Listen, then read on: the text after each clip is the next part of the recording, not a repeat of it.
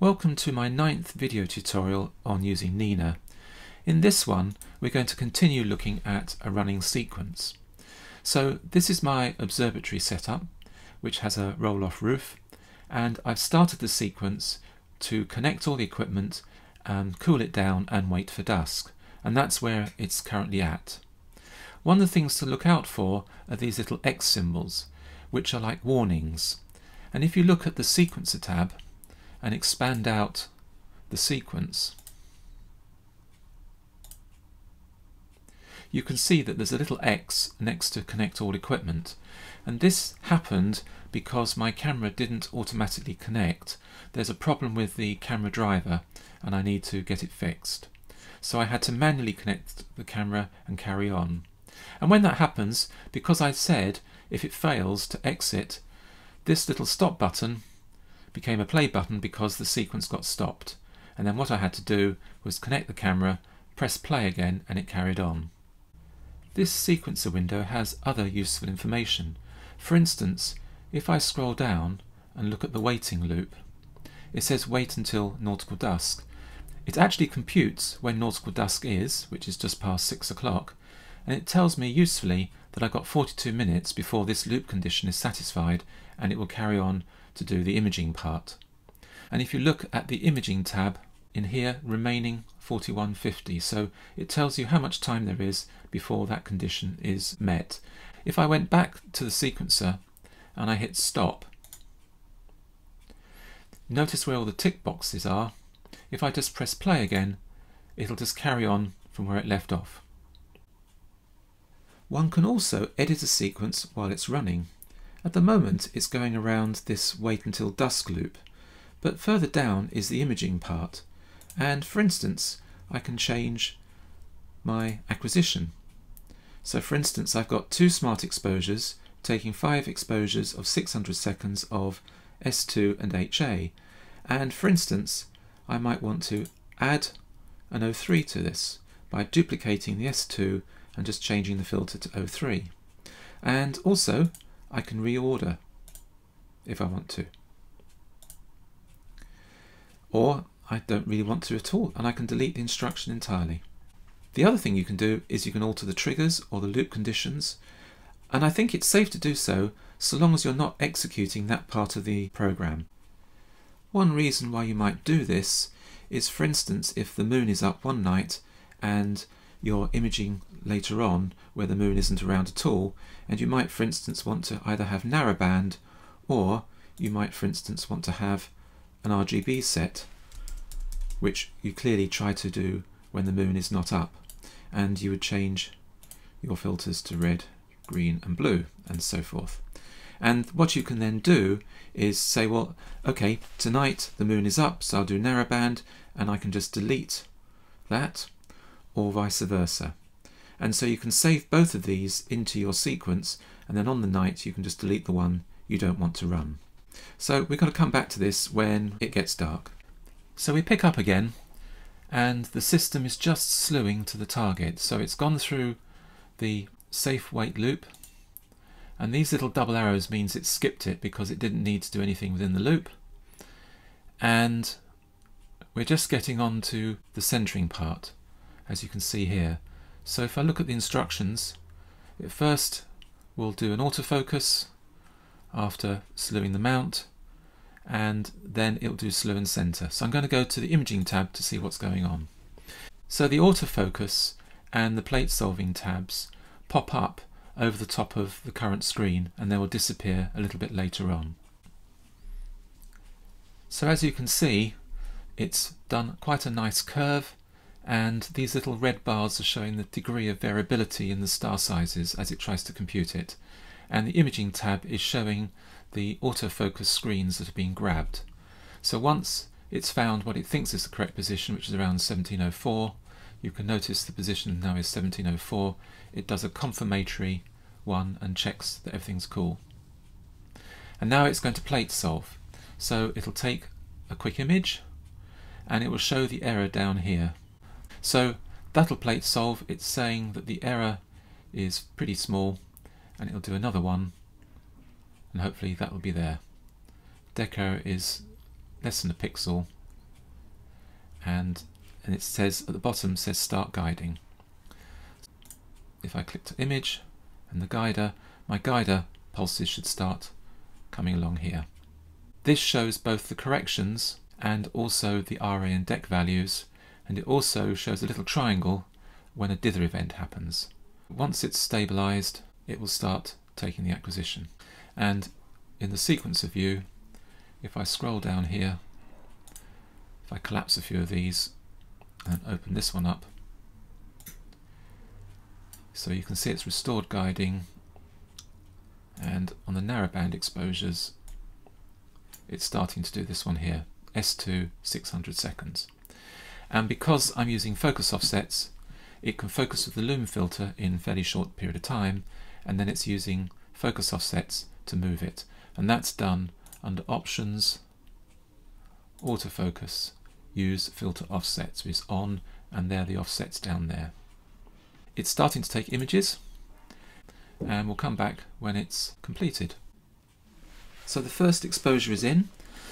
The guiding graph looks pretty awful but when you actually look at the guiding state it's only 0.56 arc seconds RMS because I've chosen quite an aggressive angle. If I choose plus or minus 2 arc seconds, you'll see that's a little bit more reasonable. The display here defaults to 1 to 1, so if you want to see the full screen, hit that. You can see the amp glow coming out the side here, and by default the auto stretch is on automatically, so this is the image without stretch, and you can see a few white dots maybe, and with auto stretch you have here. So there's a few little nebulas, a little loose cluster, and a lot of amp glow. That'll come out with calibration. This is now doing the second exposure, and it will continue to do so until such times that several events trigger special actions. If we go into the sequencer and look at the triggers, autofocus after temperature change, restore guiding, that's a trigger that means if the guiding ever stops for any reason it will restore it, meridian flip when it crosses a meridian, center after drift. In this case, every time it takes a picture, it plate solves it, and if it's too far away from the original target center, it'll recenter it, and autofocus after a time period of 90 minutes as a failsafe. On the meridian flip, just to take a look at the target itself, meridian flip is not for some time yet, not until 9 o'clock time. And if you look at the meridian flip itself, it says flip time and it says between 2113 and 2123 so it tells you when it's going to happen. So I have flipped over to my imaging rig that's in the middle of the backyard and this one is doing much shorter exposures of only two minutes each and it's going round in a cycle red green blue red green blue whereas the other one is doing the much longer narrowband exposures. And again, I'm using focus offsets for each of my filters so I can go around this loop nice and quickly without any time penalty for autofocus. If I go back to the imaging tab, there are a couple other things I want to show you. The image history gives you a thumbnail of each of the images with an indication of the star sizes and the mean values. And the HFR history is actually quite useful because it shows a trend of star sizes. So if they're slowly getting fatter, that's an indication that maybe the temperature's changing and you haven't autofocused frequently enough.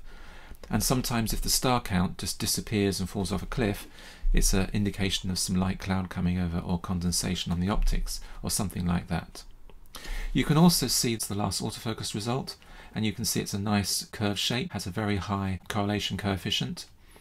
And you can also see what's going on in the sequence where it's at, what's been completed, and it's a quick tally, but the most comprehensive tally is in the sequencer tab itself.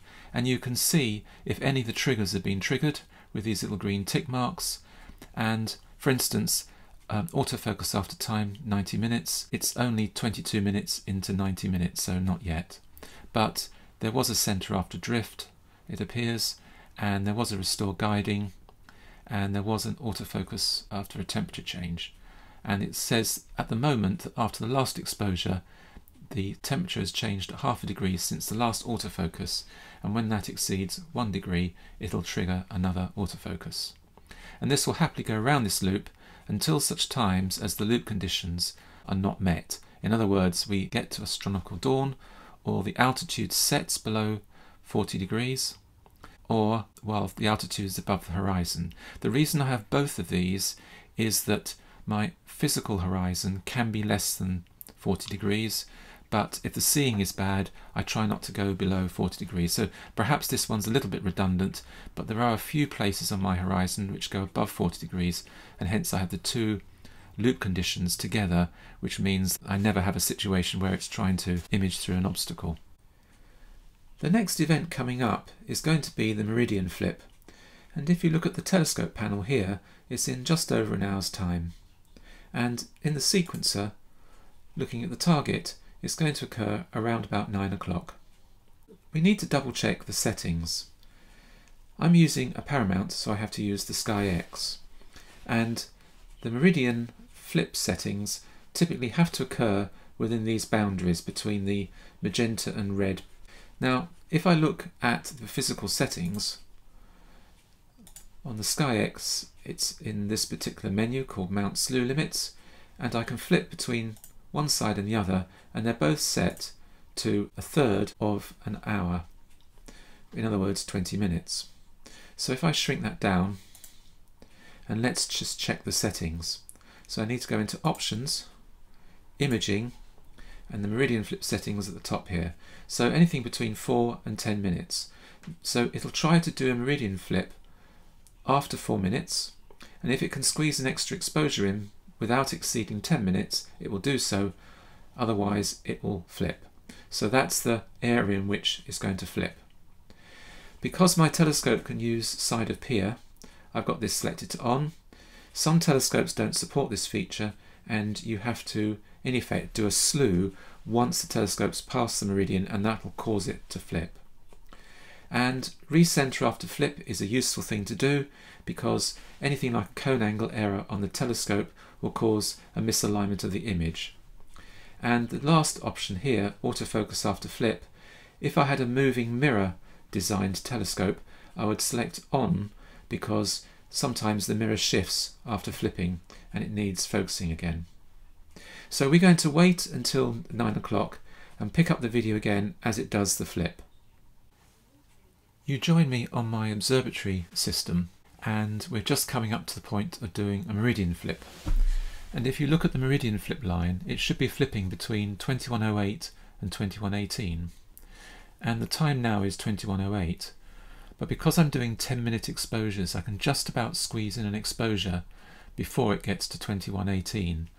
So I imagine that once it's done this 10 minute exposure, it will immediately do a flip. So I'm just going to pause the video and rejoin a few seconds before the end of the exposure.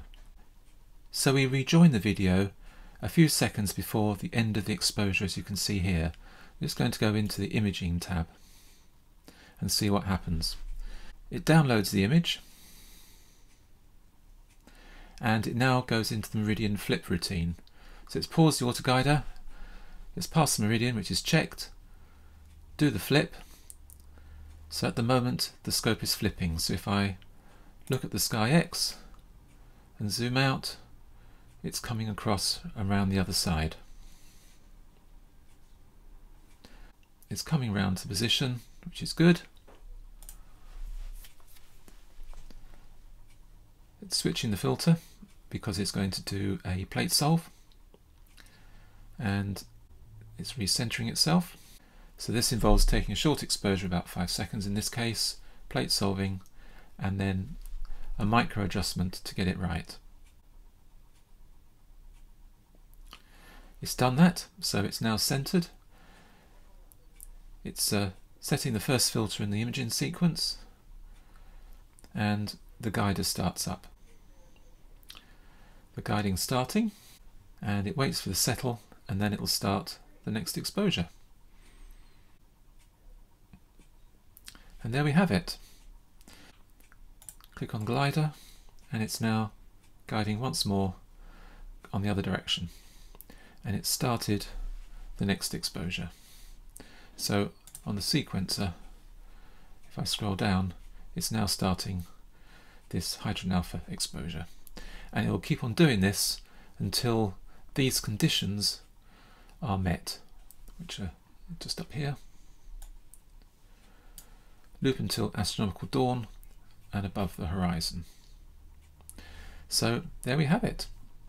I'm going to conclude that video right now and of course once it finishes it will bomb out and come down to the shutdown routine which similar to the ones I showed you before disconnects the equipment after parking and closing the dome and warms the camera gently.